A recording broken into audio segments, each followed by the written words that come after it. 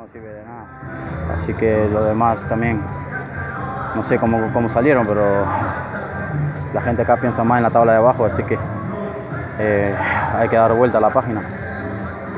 ¿Qué es lo más difícil, eh, Yanderson, para Petapa? Porque tomando en cuenta que hacen buenos partidos de visita, pero de locales eh, les cuesta todavía.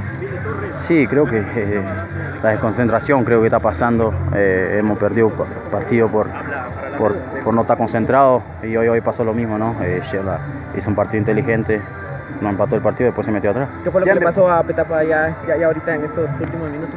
No, no pasó nada, fuimos en busca del gol y bueno, y obvio que quedamos expuestos atrás, ¿no? Ya son 10 puntos que se dejan en casa. 10 puntos que se dejan en casa. Sí, son 10 puntos que se dejan en ja- en casa, pero eh, afuera sumamos. Entonces, obvio que hoy queríamos sumar de 3, pero no se pudo. Eh, hay que dar vuelta a la página y seguir adelante.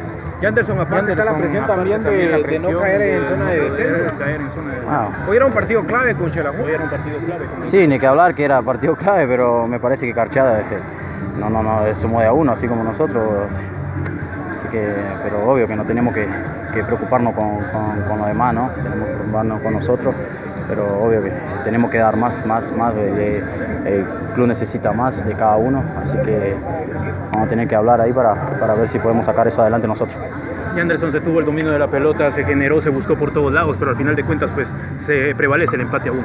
Sí, se buscó, se buscó, se buscó por todos lados, pero Shela se armó, se planteó bien atrás y bueno, eh, vinieron a buscar el punto y se lo llevaron.